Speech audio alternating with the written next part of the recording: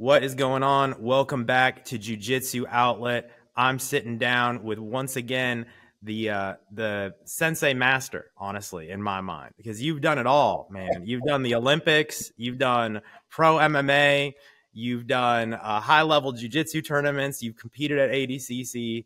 Dr. Rhadi Ferguson, thank you so much for coming back on the show. I appreciate you. Hey, Paul, thank you for having me on. I appreciate it. Thank you so much. I appreciate it. I've been doing this new series where I ask experts this important question about what are the principles of the martial arts, and I'd love to ask hear your take on that. Like, what do you feel are these mysterious principles that we always hear about, but no one ever really defines?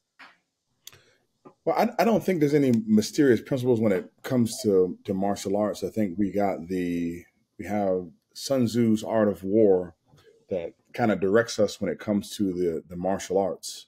Um, when it comes to judo in particular, we have um, what Sensei Kano or Kano Shihan provided. Uh, we understand that those principles are mutual welfare and, and, uh, and, and, and mutual benefit. Um, we also understand that that judo has a way to it. Uh, it has there's a gentle way. Uh, when it comes to the principles of jujitsu, I don't know what the principles of jujitsu are because jujitsu doesn't have a way to it this is why you see it deviating so much from its original roots, which are judo, in terms of Brazilian jiu-jitsu, because jiu-jitsu doesn't have a way to it. So what happens is people grasp and they grab what is uh, what's in vogue at the time, and that becomes their particular way. And you see the you see the the, the movement of, of gi, and then the movement into no gi, and then the movement into leg locks, and then the movement into uh, a certain rule set and a movement into butt scooting and a movement into the anti stand up and then a movement into well th- this is how this is more realistic than than this is. Well all those things they keep sublitating from the original root of judo because jujitsu in, in and of itself does not have a way. It's like people arguing about should i wear a gi or shouldn't i wear a gi well there's no military that we have and there's no martial art form that we have that doesn't have a gi to it. That they have a gi. When you look at Bruce Lee, when he started kung fu or gung fu, he had belts, he had a uniform. When he came up with his Jeet Kune Do concepts, there was no gi. But his Jeet Kune Do concepts are more of a esoteric conceptual framework not a hard line conceptual framework. They're more along the lines of these are Bruce Lee's thoughts. This is what Bruce Lee garnered from doing these specific arts, from from dipping into boxing, from understanding karate, from understanding kung fu, from understanding um, uh, um, taekwondo. These are the things that Bruce Lee picked up, and these are his Jeet Kune Do concepts. This is his conceptual framework of how to do arts. Now, Jeet Kune Do in and of itself, that's our really first introduction to what we would call MMA or mixed martial arts based upon the conceptual framework of mixing the martial arts together to find out which is the best thing to do or what are the best what's the best way to practice in order to apply uh, these particular arts into their real life principles because every every martial art is good for what it's good for that's that's what it's good for. Jeet Kune Do is kind of the the I would say the the preamble to the mixed martial arts movement. But when it comes to the the hard line principles of of what a martial art is about, man, a martial art is is based upon they're based upon war games, understanding the art of war and applying it in a fashion in which you can practice so that nobody gets hurt.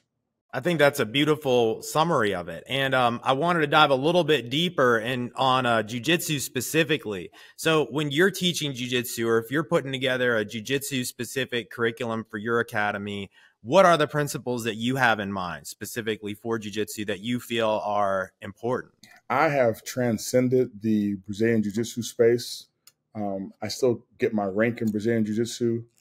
Um, Brazilian Jiu-Jitsu is judo. It's just there's no if, ands, or buts about it. I'm a Rokudan in, in judo. I'm a sixth degree um, black belt in judo. I'm a fourth degree black belt in Brazilian Jiu-Jitsu. Um, I've read many books. Um, there's there to to call Brazilian Jiu Jitsu Brazilian Jiu Jitsu at this particular time and space and place in terms of my educational background, it would be the incorrect thing to do. I don't care how much a sport evolves or an art evolved evolves. The the art that we're all practicing is judo. Now we might we might compete in a sport called Brazilian Jiu Jitsu. We might compete in a sport called judo, and those sporting rules change over a period of time but the bottom line is, we are doing judo, and that's all you're doing. And when it comes to the principles of judo, I, I, keep the principles of judo, meaning the gentle way. I understand that the foundation of it is to um, teach overall biomotor skills, overall human development, to, to create a better citizen, and use judo to create better citizenship. Um, and that's what I do. I also use judo as an educational tool to help people develop resilience and to become tough. Uh, do I still quote unquote sell Brazilian Jiu Jitsu when people come into the school? Yeah, but when they get there, I tell them exactly what it is. I tell them, man, this is we, are doing judo. I mean, we we're really good at newaza and we're really good at tachiwaza. We're really good on the ground and we're really good on, on, on the stand up. And we're, we're about a good quality 60-40 split, 60% being the ground and 40% being stand up. And that, that's just what we do. I'm, I do not feel comfortable knowing what I know now as a practitioner of the arts, proselytizing jujitsu when I know for a fact what it is.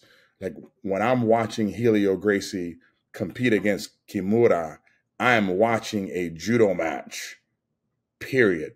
I'm watching Kimura put on a udegarami, which they call a kimura in in Brazilian Jiu-Jitsu, and it is it is udegarami. There are no moves that are in Brazilian Jiu-Jitsu that aren't in judo. There's no new there's no new leg lock. There's no new neck crank. There's no new wrist lock. There's no there's no new strike. There's no new atemiwaza. All of the self defense that that they teach in Brazilian Jiu-Jitsu, all that stuff is in all of the judo katas.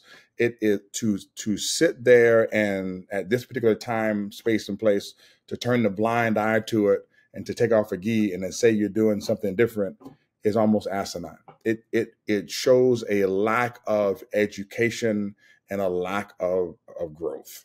I think you're hitting on something very important here. And it's interesting because if you ask most Brazilian Jiu Jitsu schools about the history of the martial arts, especially the history of Brazilian Jiu Jitsu, they'll start that history with the Gracie family in Brazil. And that just doesn't make any sense. I mean, it's that's just not true. like it, it, was happening in Japan, it was happening in Brazil before the Gracies got involved. And I feel like there's almost a larger art here, if that makes sense, because Jigoro Kano even adapted judo from Japanese jiu-jitsu, right? I feel like that's where there might be some confusion. Like, what about that? What about, could you tell us a little bit more about that time when Jigoro Kano was first putting together judo?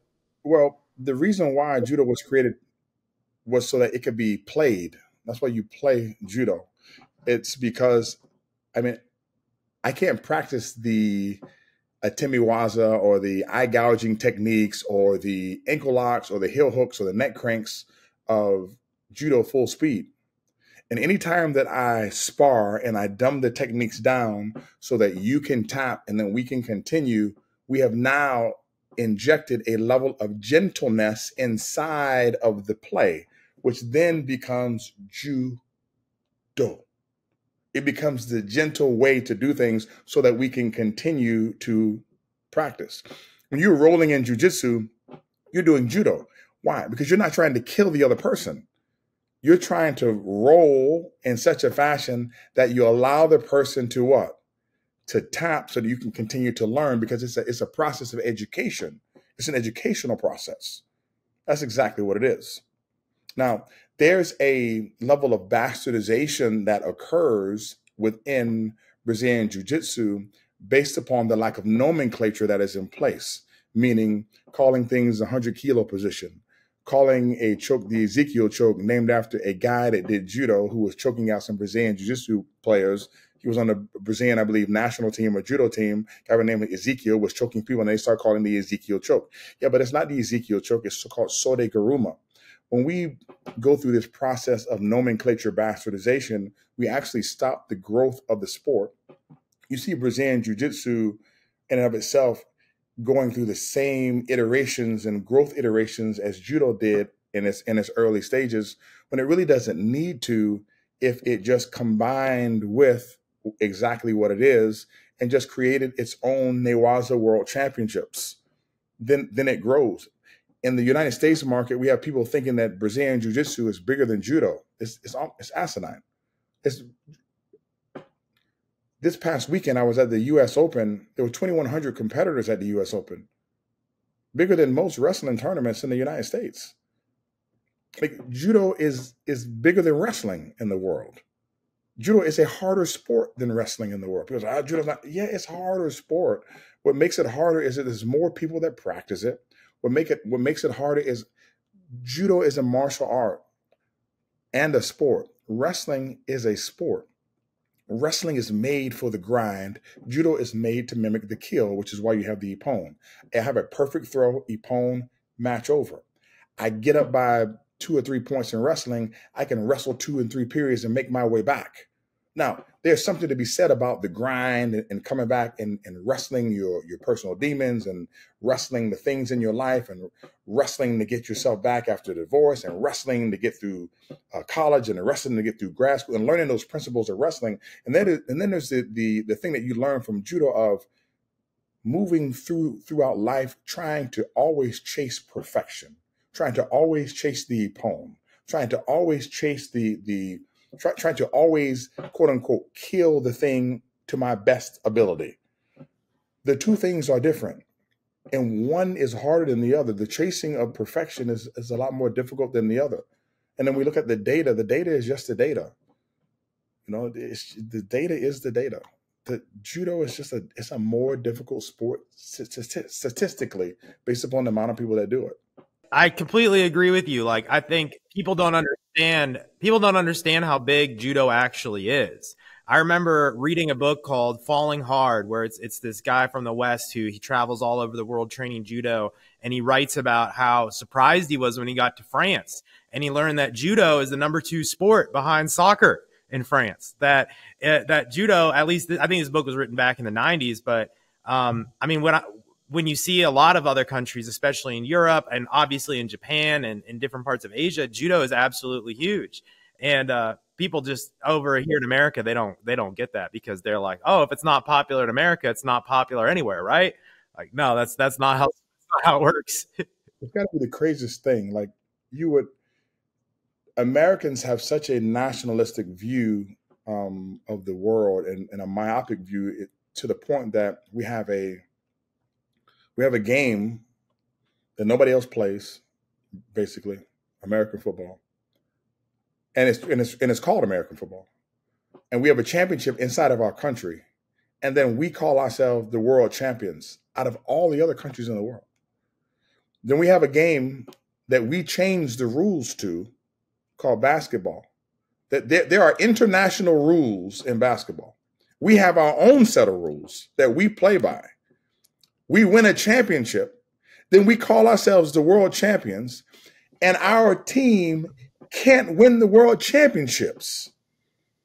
We have to yeah. send an all star team in order to win the championships. And we've gone to the Olympics and we haven't won every time that we've gone. And and right. I, I think that this this mindset kind of spills over to the point where we just believe we're the best in everything. And I think, and I think it's a great thing because you, you want to believe that as a United States citizen, you want to believe that you're the best in, in, everything, but you also want to prove that you're the best in everything. And I think that we've, we've gotten through this, we're going through this, this time of, um, uh, I forget the name of the author, where we have the death of expertise, where nobody really believes in data anymore. We believe in populism. Um, we, we believe in memes and things that are posted on the internet, and we run with those things like they're the truth. And unless you've traveled and you understand the global community and the global sport community, you just you really don't realize how how big that that that judo is. Yeah, and um, I I really love the perspective you're sharing here that truly jujitsu is judo, and the what we're practicing today in the modern world and calling it Brazilian jiu-jitsu is almost just a bastardized version of judo in a lot of ways. And I feel like and I don't mind it, but I'm not going to do it anymore. I mean, I, right. I think that everybody has to reach their own level of um, self realization within the martial arts process. I think this happens to everybody when people come into. I don't care what martial. I don't care if you come into Aikido or Taekwondo or karate or judo. When you come in as a white belt, you, are coming in. You're being indoctrinated through that particular sport. You you understand that karate has its own take on the martial arts based upon the empty hand Taekwondo has its own take about on using the feet.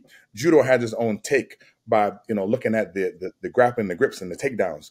Jiu-jitsu has its own take by looking at the the ground. All of them have their own take. Boxing has its own take. Boxing is basically swordsmanship through the use of gloves. Um, and all the martial arts come off the sword. But if you study all the martial arts and you go to the highest level on them, you'll understand that Taekwondo also has grappling in it. Karate also has takedowns and arm bars and chokes. Judo also has striking. It's just most people never see the atemi waza inside the judo. Brazilian Jiu-Jitsu also has all the takedowns and stuff that judo has. It, have, it has, it has all of them. But if you if you study all those arts and you get to the apex of all those arts, they're all going to meet at the same exact place. Right. All of them. It's just there's no way to do everything, so some people specialize. Yeah what you're saying reminds me of something that my coach Mike Morgan told us a few months ago. He sat us down after class and he was talking about how, you know, he sees people in the gym using these different moves and we're working on new things and this, that, the other thing. And he was saying that um, he doesn't care about any of the new techniques or about anything that, any of that kind of stuff. And he said, guys, he's like, I don't want you to think of this as Brazilian Jiu Jitsu class. I don't want you to think of this as Muay Thai class or whatever. He's like, this is how do you win the fight class. He's like, I'm going to teach you how to win a actual altercation in the street where you get on top of the person and you can control it. He's like, that's what I care about. I cared, can you actually defend yourself when it counts with striking on the street, you know, or in inside of a cage, you know, inside of a real situation. He was like, man, I don't care about this De La Riva game. I don't care about this uh, fancy stuff that's coming down the pipeline, like the X Guard and this, that, the other thing. And um, for me, that really rung true. That really just felt like there was so much truth in that, that we need to go back to what you're talking about. We need to go back and say, what are the things that we really need to focus on here? What are the most efficient techniques across all the different disciplines? And what's going to actually provide the most safety to the practitioner? You know, what's going to actually give them a real sense of confidence? What do you feel like that is. Like when you're teaching your students, what are the te- the techniques that you feel are most important to emphasize when it comes to just being able to defend yourself and handle yourself on the mats? Man, it's only one. It's only one. Get top, stay top. That's it. Listen, the, the the the problem that I have with the way that modern day submission wrestling is is taught and Brazilian Jiu Jitsu is taught is that, and don't get me wrong, the beauty of Brazilian Jiu Jitsu is the guard, 100%. Okay. Just like the beauty of, of, of judo is the is the throw. That doesn't mean that that's the, the the the thrust of the art, but it's the beauty of the art. Um, there's no there's no military science book. There's there's no um, war class. There's no there's not one page in Sun Tzu's Art of War where the advice is, you know what? We're going to run down in this valley and then we're going to kick their ass on top of the hill. That's not how it works. When the art of war lets us know that the best ground is the high ground. So when you're in an art, and the art in and of itself is a martial art, okay?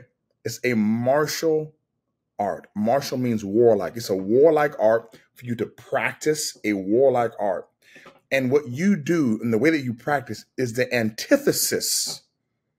It is the direct antithesis. It is in diametrical opposition to the the the the way that a war game should be played to the point where you jump into the valley instead of taking the high ground. It is no longer to me a valid art form anymore. As a martial art. It becomes a pure sport. I don't have a problem with teaching sport. I teach sport judo too, and sport judo is a sport.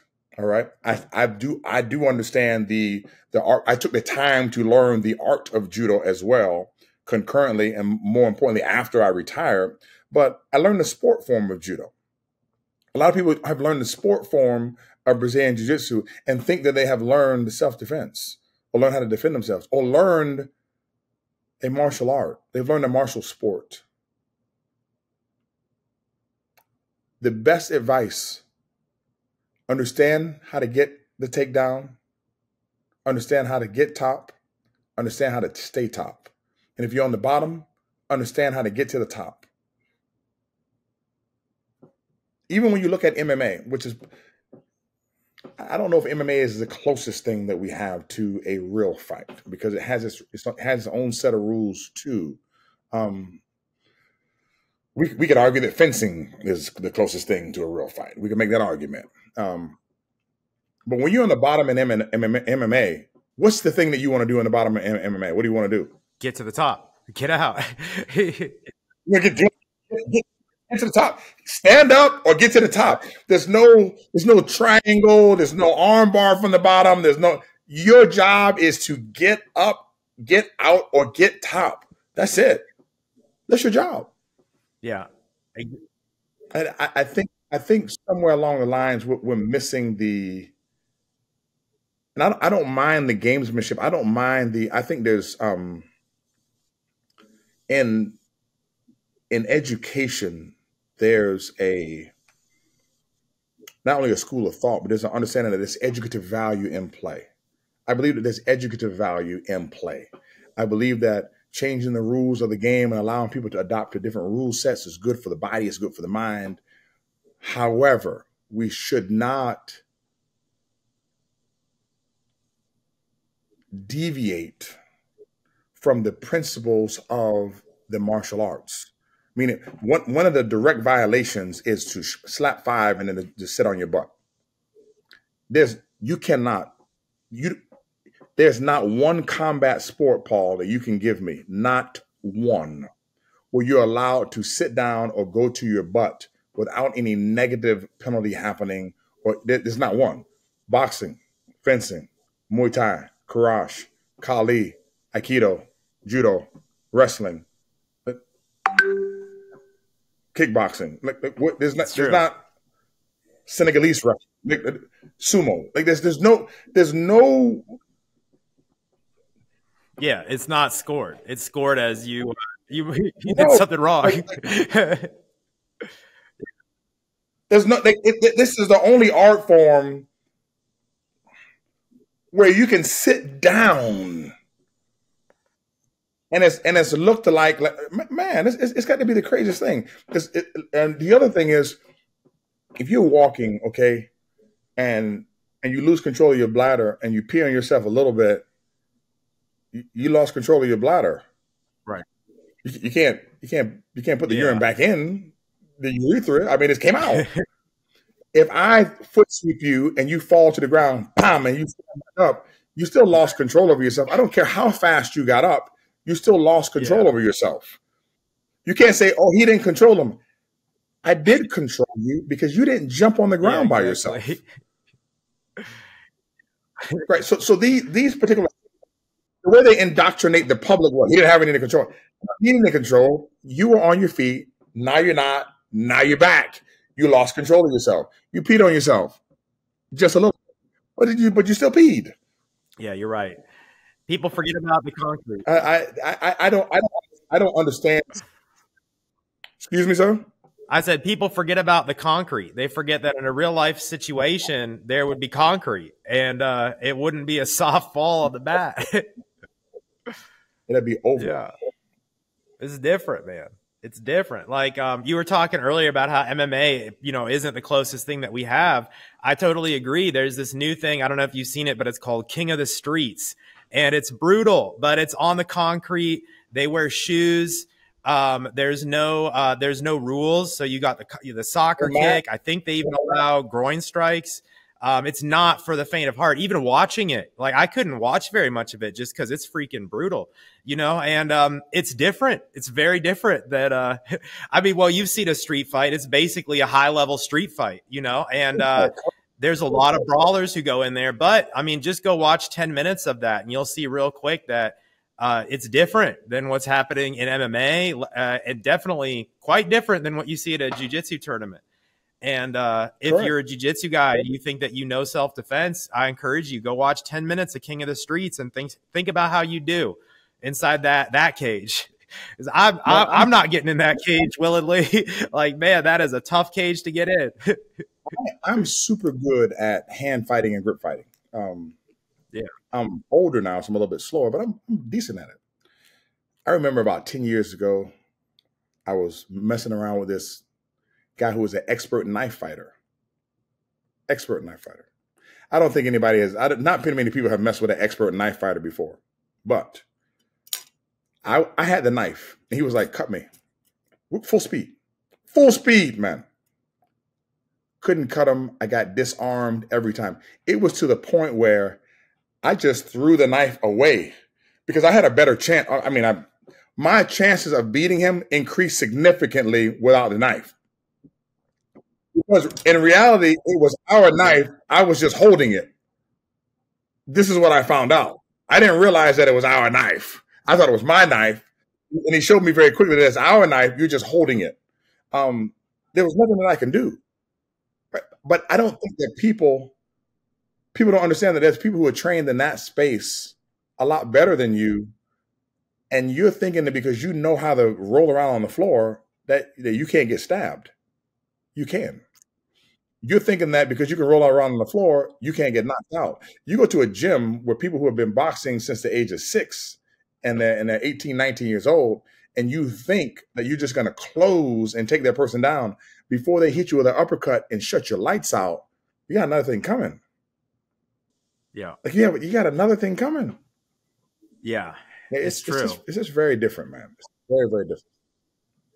That's Very something. I've wanted to get into more. Very is uh, I want to learn the different weapon styles because I realize that's a glaring hole in my martial arts career. Is uh, the knife defenses and the weapons defenses, or even just the stick fighting, you know, all that kind of stuff. Because I was thinking about it, you know, if the, um, yeah, yeah, the Kali, the Arnis, like we, we don't know that stuff. Yeah.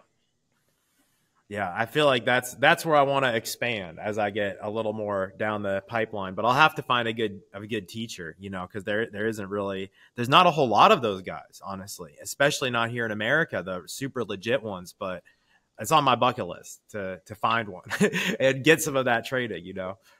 As I've gotten older, so you have there's there's two things that happen when you when you get older, you you make a decision to extend further into the process or retract um, into the martial arts process where I'm pulling myself back where I don't I don't I don't let's say need to access all of the the art form anymore.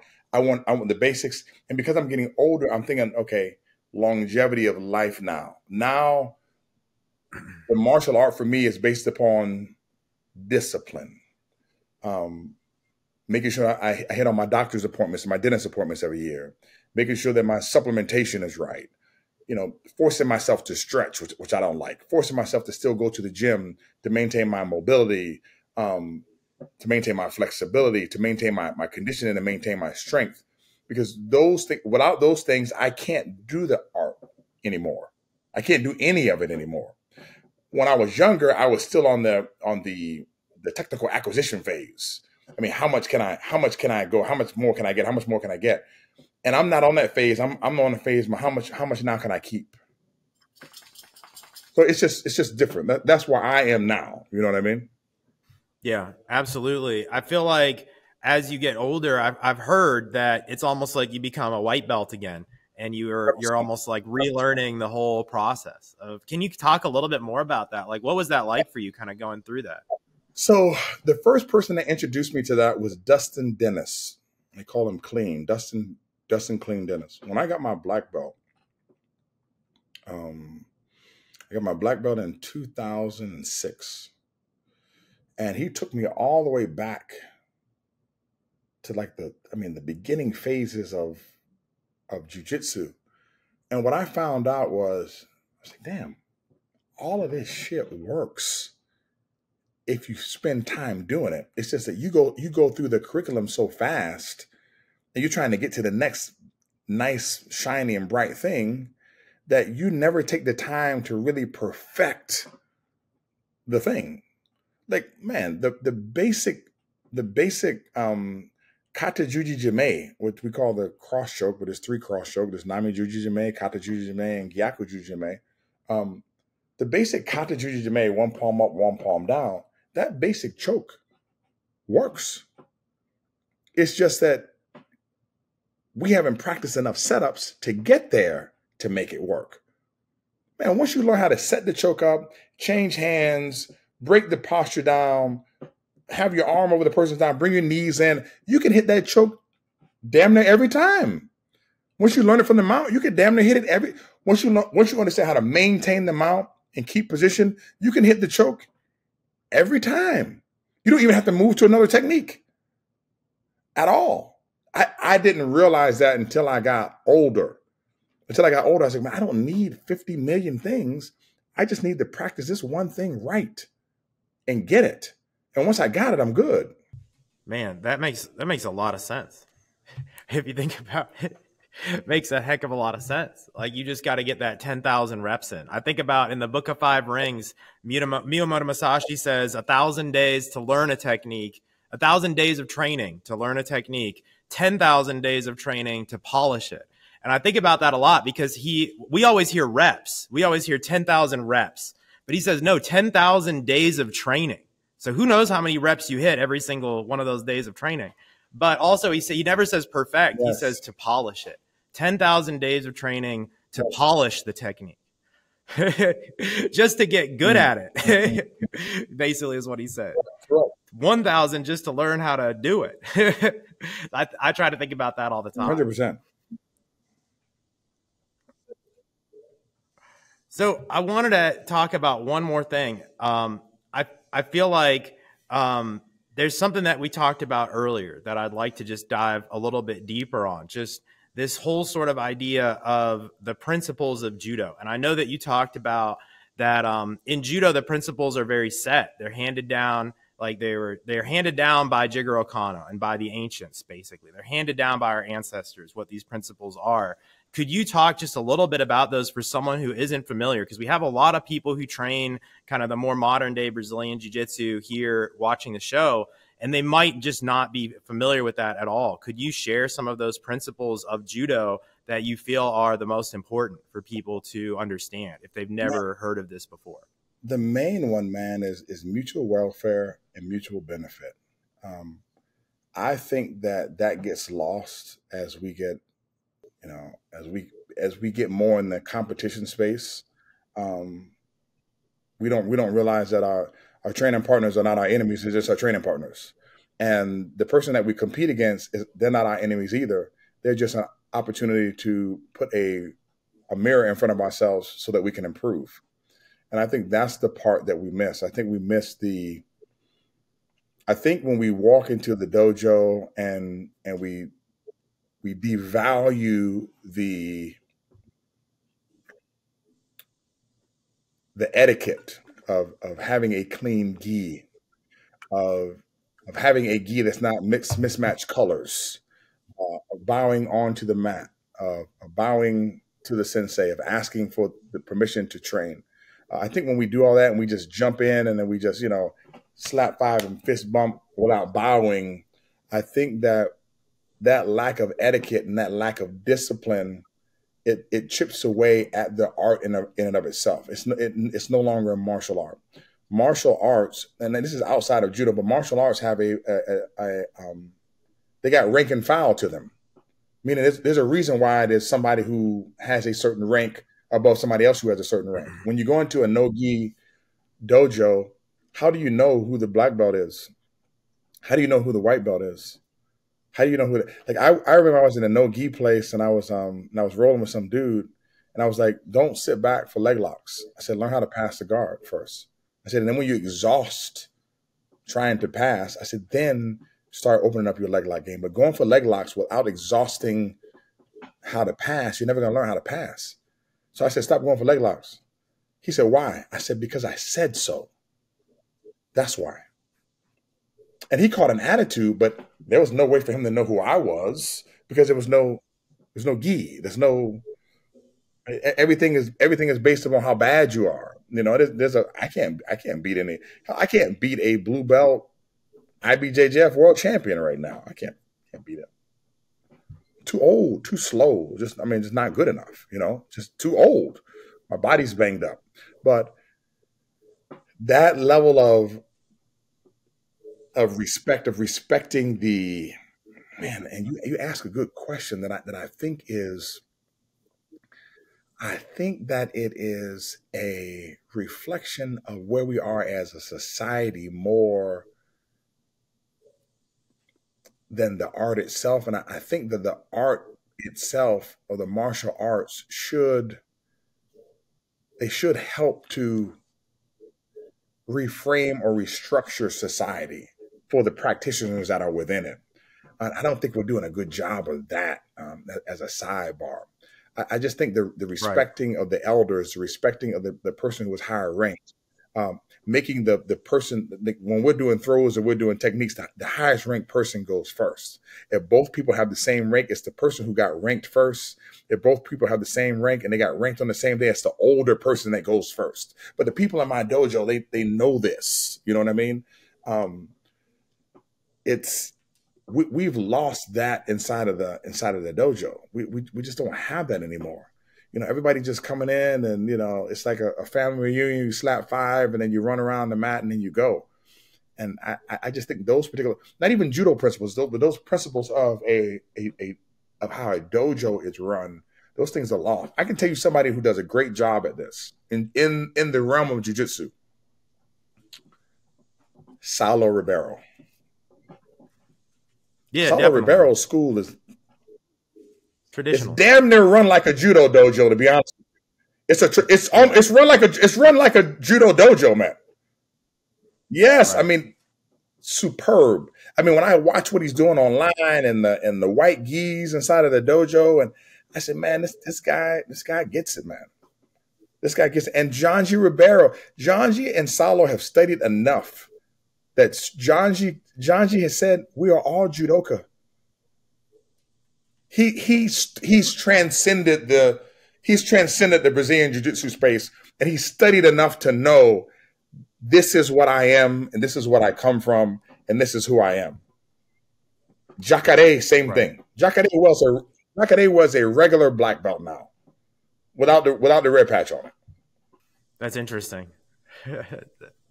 It's so true, man, though. Like all these different martial arts, they all go back to the same roots. And I think I really like what you said that we stop the growth if we kind of restart it, because then it's almost like a business that you're constantly restarting and renaming. At the end of the day, you're never going to have yeah. that brand.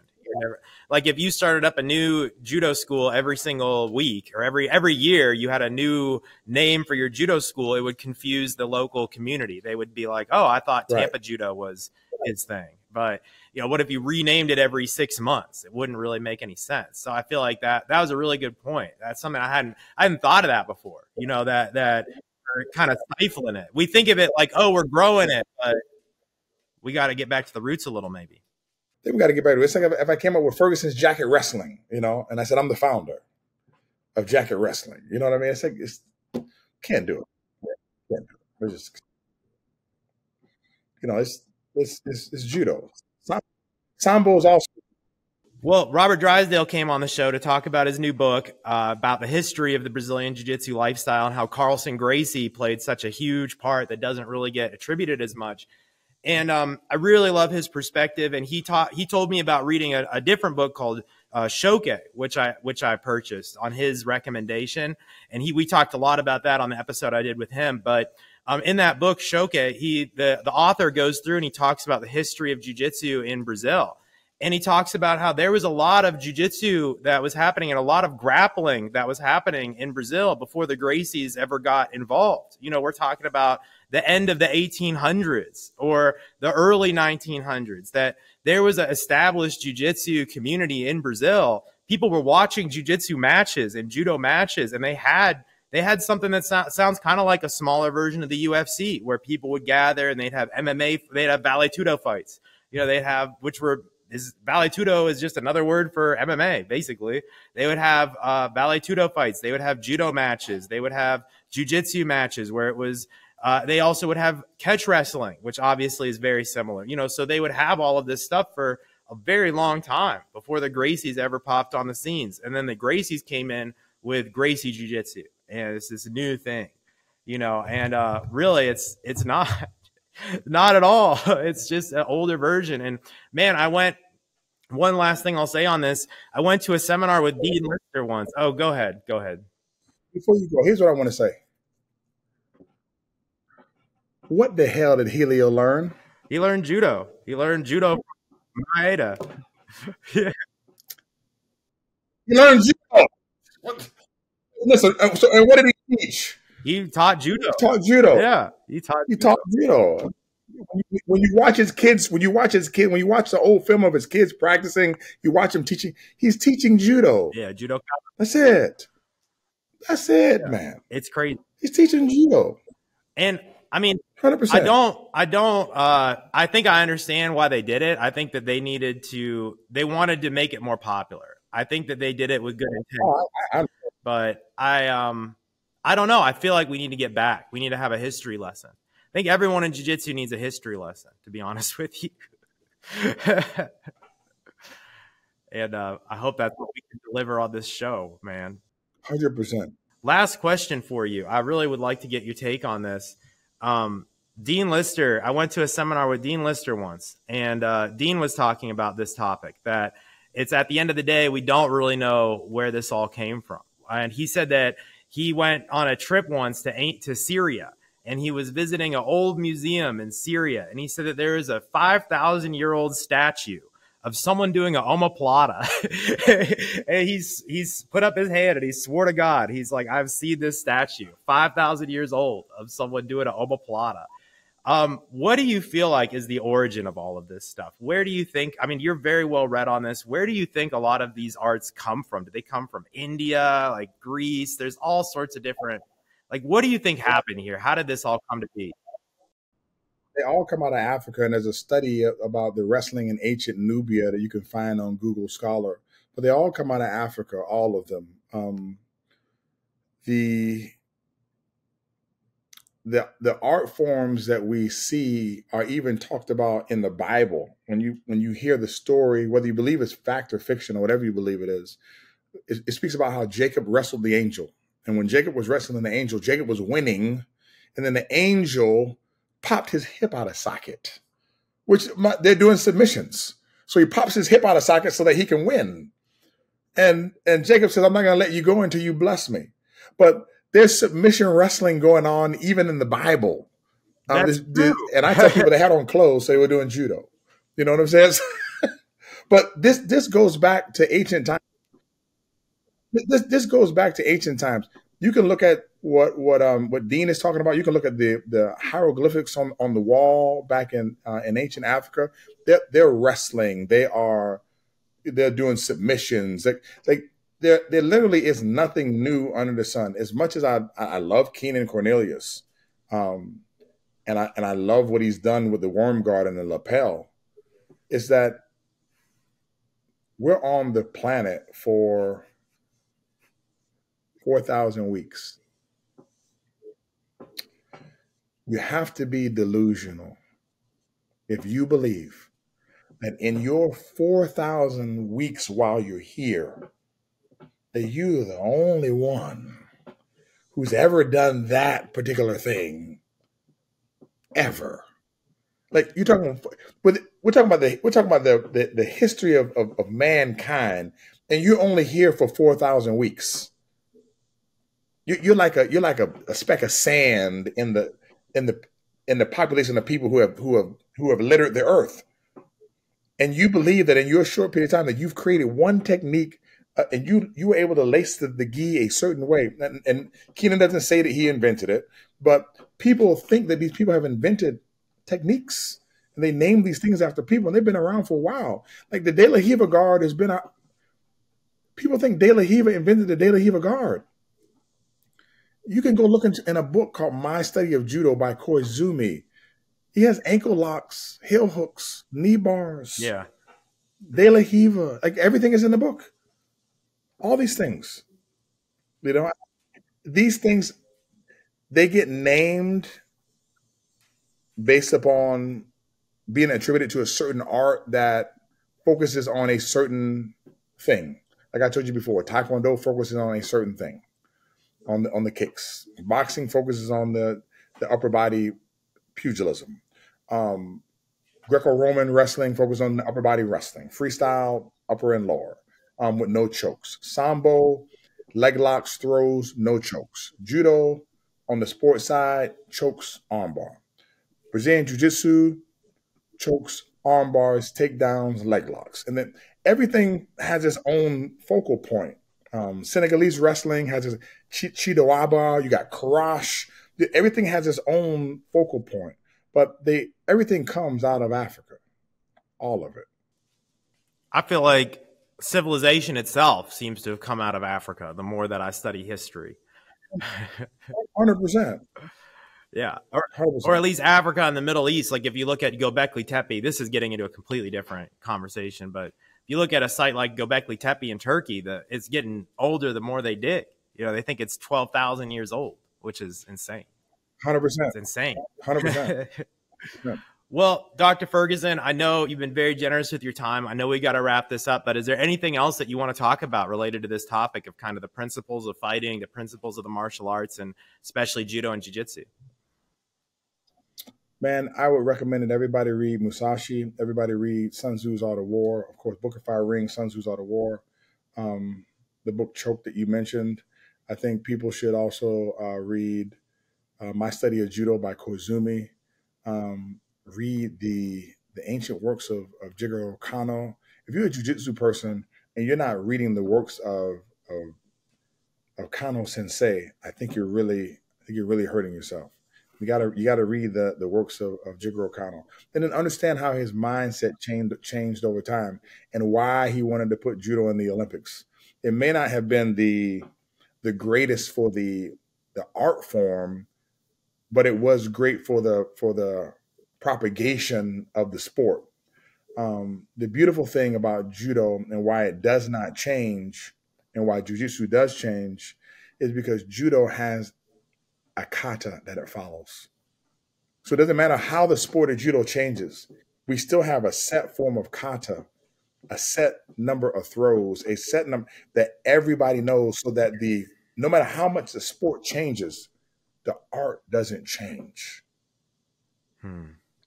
This is why you have the, the Gracies trying to preserve jujitsu through through self defense, because self defense for them is the kata version of jujitsu.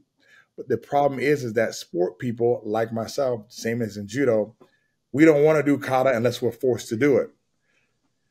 People in jujitsu turn the blind eye to kata, I mean, to, to the self defense because they don't necessarily want to do it. So the more that they move toward the sport, the more they'll move further away from their base, unless everybody goes back to exactly where they came from, which is judo. Do you think it'll ever happen? Do you think that it's possible for all jujitsu people to kind of come to this realization that you've had and transcend? One, one hundred percent, man, one hundred percent. I believe it too. You've you've uh, given me a lot to think about today. I really appreciate this this conversation. Oh man, you're welcome, man. I appreciate the time. Thank you for allowing me to share. Of course. And where can people find you if they want to follow up with what you're doing? Oh man, you can find me on on Instagram uh, at Rhadi Ferguson or at Tampa Florida Judo. You can also find me uh, on Facebook, Tampa Florida Judo. Um, I would encourage everybody to go grab. Uh, I have some free products, man, at www.newazaexcellence.com and also www.gripfighting.com. Wow. All 100% free. I'll put all the links down below in the show notes. So go check it out if you're listening. And uh, Dr. Ferguson, thank you so much for coming on the show. I really Man, appreciate thank you. I appreciate it, man. Take care. Have a great day. You too.